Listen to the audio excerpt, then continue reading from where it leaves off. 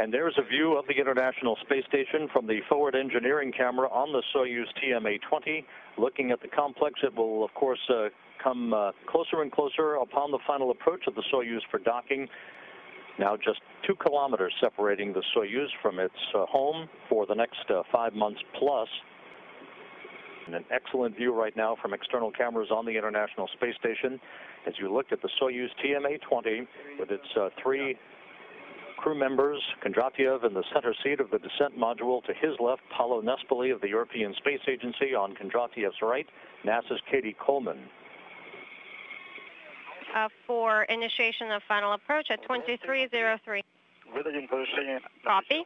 You, we have your go to send command to initiate final approach at 2303. Affirmative. Copy. And, and final approach now has been initiated. This uh, should take about nine minutes, perhaps a, a, minute or so less. We'll see. As uh, you can clearly see against uh, the approaching orbital sunset, the thruster firings on the Soyuz vehicle from multiple thrusters on the various axes of the spacecraft, from the instrumentation and propulsion module at the base of the Soyuz spacecraft, as uh, Kondratyev monitors uh, fuel consumption and all of his systems. The Soyuz now 140 meters away from contact and capture. Range and um, give it to us from time to time.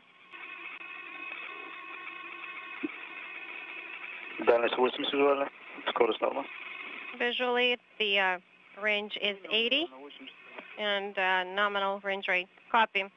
Based on your visual assessment, the range is 80.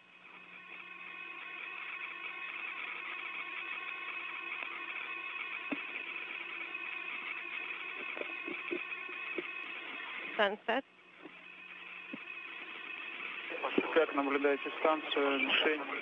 Uh, what's your visual on the station and the target? We have a good visual uh, on the target and the station. Copy, Dima.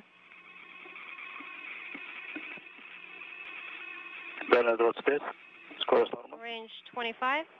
The Soyuz uh, and the International Space Station just 30 meters apart crossing the west coast of Africa over Sierra Leone.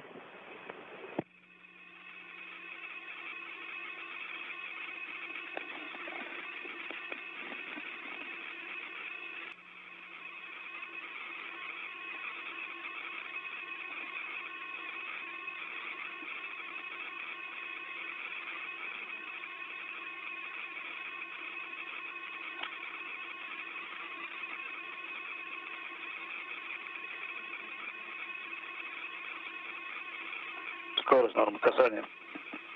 Range rate nominal and contact. Capture confirmed on display 44.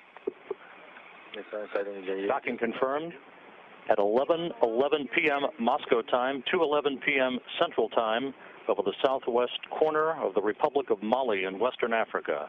Docking occurring at an altitude of 224 statute miles. A multinational crew has arrived at the International Space Station in time for the holidays.